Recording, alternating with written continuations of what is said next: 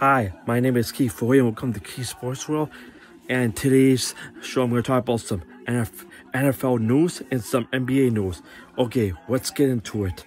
Okay, Randall Cobb has been signed by the New York Jets to, and some NBA news.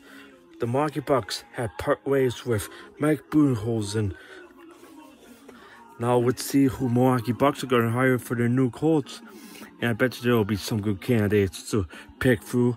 We'll see what happens. And we'll see with a new coach. Do you think this will hurt the Milwaukee Bucks? Or do you think it'll help the Milwaukee Bucks? We'll see what happens. And do you think they have a chance to get to the NBA Finals? S someday with a new coach, we'll see what happens.